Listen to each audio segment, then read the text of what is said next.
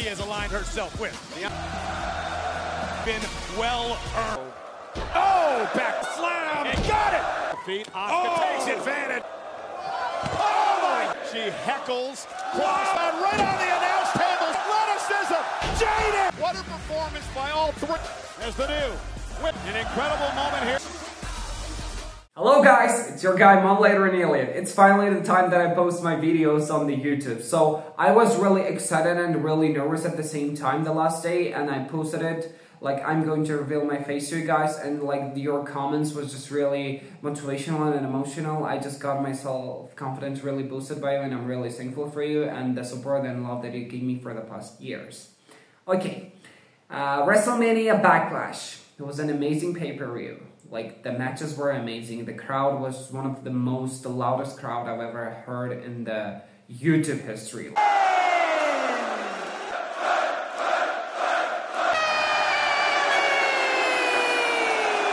Friends out the whole America and like Puerto Rico was behind it. Like we know how Puerto Rico was the loudest crowd beforehand. Yeah. The first, we had a women's tag team championship match, which was not a good storyline and not a well-built match, but the match itself was just really amazing. So let's talk about the entrances first. We had a Kabuki Warriors make their way to the ring with Dakota Kai, but I don't know where Dakota Kai disappeared in the middle of the match. So Kabuki Warriors entrance is just really vibing entrance because they have a lot of special outfits and they wear the attack titles the way that nobody does and their umbrella makes it really amazing and the face paint of Asuka is like really attractive. I really love her. Next up we had a Bianca Belair.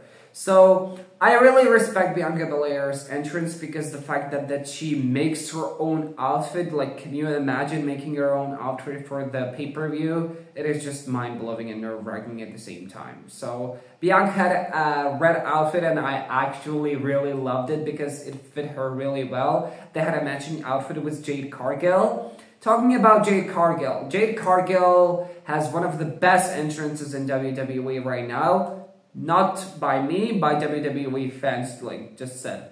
Please do not come at me right now. So Jade Cargill has really amazing entrance. It's like the electric, the stormy entrance as her bio. And her effect of the entrance is just really amazing and really vibing. Like, I love her entrance so much. So, uh, as I mentioned, Frank's crowd was just really amazing and I love it. It always like have been really inspirational because we know how WWE women's came so far and just a lot of European countries which WWE visits annually support women on this level just made me really emotional and made me really proud of women. So even though I'm a man, yeah. So the match itself, it was really unexpected, but I predicted the winner really well because it was a predictable, like considering the fact that Bianca Belair had been struggling with damage control for a very long time and Jade Cargill made her debut at Royal Rumble and she straight went to WrestleMania without even having a one match. Yeah, she didn't even had a match before WrestleMania and they defeated damage control and it was impossible for them to lose. Yeah, the winner was predictable but I really enjoyed the match. The choreography of the match was just really amazing. They really knew how to utilize four of these women considering and like going for their abilities and there was no botch, thank god. Like I'm really grateful because if WWE Women's Botch, like the internet goes viral and like the hatred is so forced because when a WWE man botch, it's like everybody makes a mistake, but when a WWE Women's Botch, it's like they have no right to do it. Like, come on now. Yeah, there was no boat, and the choreography was just really amazing, as I mentioned. Like, what really embraced me is just Bianca Belair had been improving a lot in her selling. Are you guys like noticing that she was amazing seller, but notice she's been selling to every move with the detail. And the fact that Jade Cargill treated poor Kairi Sane like a 5 kilogram handball was just really upsetting. But yeah, their delivery and the selling and the crowd work, the characters, the facial expressions was just really amazing for me. You know what? Yeah, I'm really happy that Bianca and Jade won the Women's Tag Team Championship because we all know the history. Women's Tag Team Championship have been really disrespected at the past and in the future, I really hope that Jada and Bianca would elevate the women's tag team division and would face a lot of potentially an amazing wrestler and athleticism on the next level on these both of these women and they have the potential to elevate and increase the amount of WWE women's tag team divisions but I really hope that they're not gonna have that wasteful of reign. Next up we had a really well built women's triple threat for the women's championship which featured Bayley, Tiffany Stratton and Naomi. And what can I say about this match? We all know the triple players of the women's division. All of them has just came so far to where they are at now. And Bayley, she's been really an amazing champion and she deserves all the hype that she's getting right now. And Tiffany Stratton, we all know her. We all have a crush on her because the day she debuted, like she stole our hearts with her athleticism, with her character work, with her mic skills, like Come on now, she's the best. Naomi. Naomi is just getting like a lot of opportunities which she definitely deserved because in the past she had been enough mistreated. Uh, the match itself was really amazing. Amazing would be understatement because all of the moves that they displayed was just really amazing with no butch, with no lacking of an emotions, with no lacking of the power. But there were some times, but we don't want to talk about it. And the selling and the delivery was just on the next point in this match too. Like they worked really well inside the ring and both outside the ring.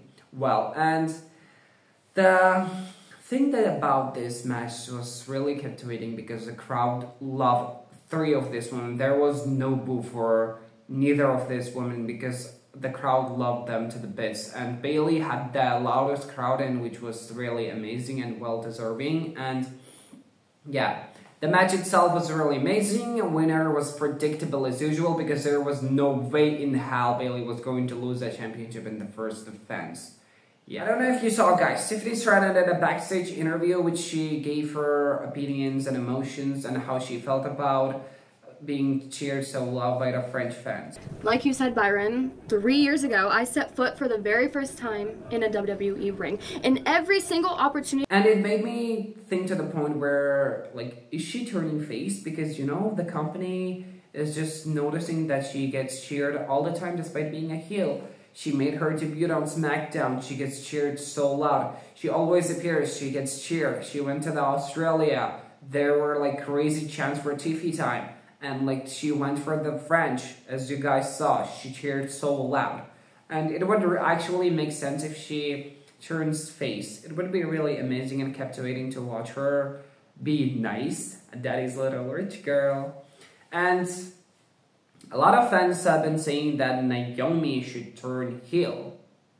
Is that okay, guys? Like, Naomi been 90% of the time she's been a face. And I really miss the heel Naomi because the fact that she has been really nice to Bayley proves that they're building up a friendship for them and she's going to turn on Bayley. Like, mark my words, she's going to turn on Bayley to turn heel. And it actually makes sense because there was like a no way she's going to take a championship by being a face from Bayley. That was basically it for the WrestleMania Backlash and I hope you enjoyed the video. Please like and subscribe for my channel yeah, I actually never said that, but I have to say this just to make a video longer. I know it was really short. I wanted to do a 20 minute video because like I really wanted to talk to you guys about something that we all love, but you know, there was a little less information, so we will do a lot of preview videos, God willing. So let's have a little chit chat. So back then I was really unmotivated because my first channel, Spiteful Blink, got blocked by someone else. I don't know if you know him. I mean, you probably know him. Like, I was really unmotivated. I don't want to talk about it, but I was really unmotivated. There's like, I've been gone for like a seven month, but I still watch women's wrestling and I just wanted to give it a one try again. Like, and I posted a video and it went like a really viral and I was just really happy. And I post next video, it just got 1 million views, like considering the fact that it is right now. And I'm really thankful for you guys, for your love and support, and you just to the point which I revealed my face. I never thought that I would be revealing my face on my YouTube channel, and the support that you guys gave to me on my videos is just really amazing and emotional. And I don't even know, I'm gonna cry. No, I'm not gonna cry, I'm not gonna cry in my first video. So the thing that I wanted to say is just, I'm really thankful and please keep loving and supporting me. And one thing, I don't do this channel for subscribers nor for likes. I do this for a woman of WWE. Uh, the WWE woman that I fall in love with uh, five years ago. And I really want to elevate the women's uh, division onto the whole another level by worldwide because you know if one person get in, gets into the WWE by watching my video, it's just the thing that I have done my job. It's like really amazing. By being a WWE fan, I just figured out a lot of stuff and it just helped me on the way. It motivated me. It increased my self-confidence. It taught me how to stand up for myself. So I hope we will share a long journey with you guys and I hope you enjoyed the videos today and let me know your opinions. Please just if I have a, a lot of shortcomings, just let me know. I take all the criticism really well. A true criticism by the way. Thank you guys so much. See you in the next time.